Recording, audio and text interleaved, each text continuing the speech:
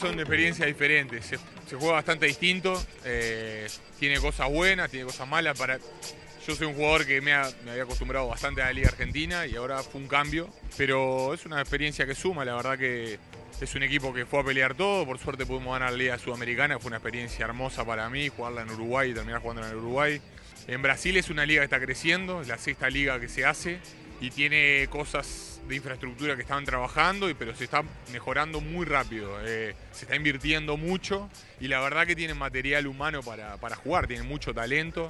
Tienen jugadores muy atléticos, largos, tienen jugadores que están yendo a Estados Unidos a mejorarse, varios jugadores que vienen de Europa también y buenos extranjeros, así que la verdad que es una liga que promete mucho. En cuanto a los viajes y la infraestructura, creo que están un poco más adelante, un poco más de, de- de poder adquisitivo, digamos.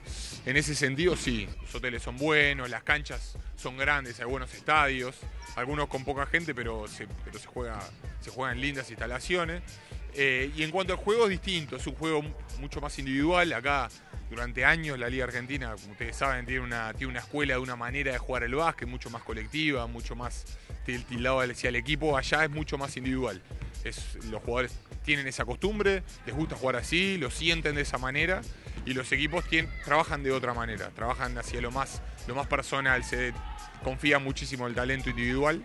Y bueno, y eso trae su consecuencia. A mí personalmente soy un jugador que he crecido en esta manera de jugar como acá en Argentina, que me he sentido toda mi vida más cómodo jugando así. Ha sido un periodo de adaptación, pero tampoco es que me fui a jugar otro deporte, más o menos lo mismo, había que adaptarse al lugar y a lo que me pedía Sergio.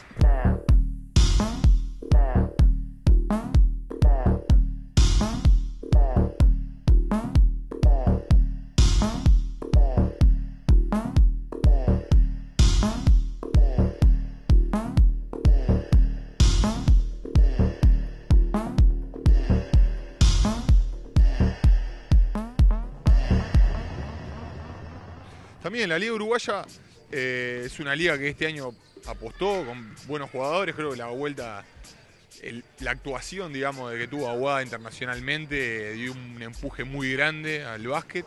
que fue algo muy bueno, me parece, que trajo mucha gente afuera del básquet, que la trajo un poco más.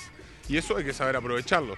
Siempre con temas de logística e infraestructura con muchas limitaciones y buscando tratar de mejorar por ahí, porque eso limita mucho. Eh, o lógicamente que, lógicamente que la pasión en Uruguay es el fútbol y eso está clarísimo.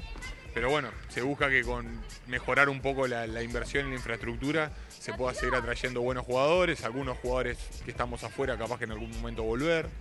Pero bueno, es una lucha constante ya.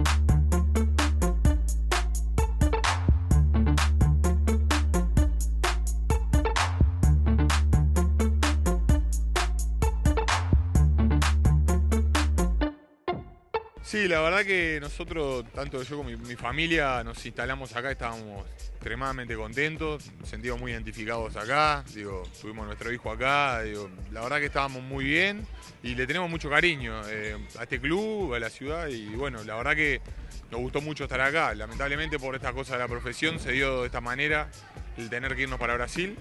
Pero bueno, esperemos que en un futuro, en otro momento, capaz que se da la situación de volver acá y lo vamos a hacer con mucho gusto.